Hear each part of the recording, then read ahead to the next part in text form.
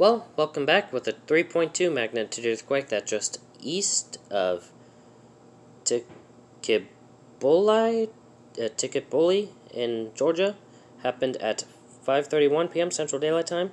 Depth of 1.2 miles. There's a coordinates and released 4 gigajoules of energy. If you uh, happen to have felt this earthquake, let me know in the comment section below and from where. Stay safe. See you in the next video.